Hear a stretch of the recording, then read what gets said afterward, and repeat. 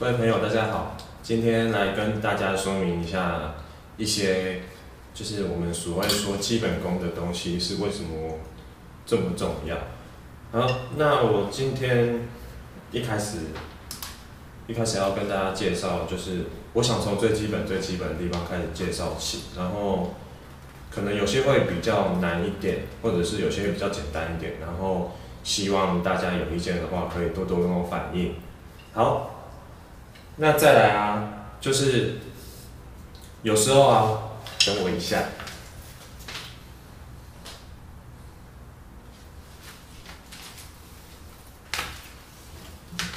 有时候啊，我们大家都会说练鼓，说只要有心就可以怎样怎样怎样。其实这句话大家可能从学鼓到现在都听过，很多人讲过。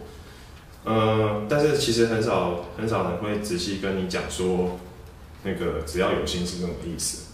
然后，然后甚至可能有些人会很偏激的跟你讲说，你就怎么样怎么样练啊，或者你就在哪边在哪边也练啊，或者我们一天练八小时十小时啊。其实我这我是这么想的，这些当然都是都是好的方法，都是勤苦练的好方法。但是有时候我们不用把事情想的这么极端。像是啊，我觉得，我觉得，当然你能够做到这么极端，对某某种程度的帮助是很大。但是有时候我们可以稍微用更轻松一点的态度去了解一下，什么叫做只要有心。好，那我现在一开始想要跟大家讲的一件事就是打点，最基本打点。然后基本上我们打点就是就是打嘛。没有什么好说，就是你就打好。那为什么我们说到打点就有这么多事情可以练呢？像是什么轻重音，然后什么双击、parallel 什么什么有的没的，其实这些是有有迹可循的。就是因为好，这有点讲太深，我从最简单的开始讲，就是我们在做一个很基本的打击的时候，像是。假设最简单的打四下四连音，就这样子而已。为什么有的人就可以说谁打的好或谁打的坏？其实这里面牵扯到很多细节，就是有的人会跟你说你的声音太硬，你的声音太软，你的声音不均匀，你的声音大小声，其实这这这些都是问题。但是我们要怎么去知道？我们要怎么去改善这些问题呢？这个就是有很，就是需要很花功夫去处理。那我现在一个一个来讲。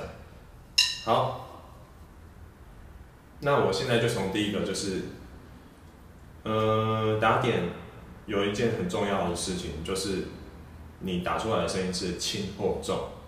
好，所以我们我们就会有人叫你这样练，轻的，重的。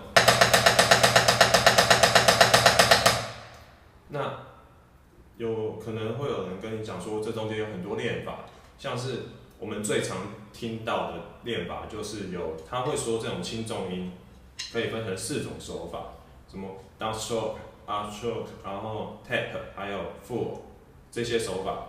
那那这些手法要怎么练好呢？我下面来仔细跟大家稍微讲一下。我觉得这些东西非常非常有深度，非常有内涵，然后。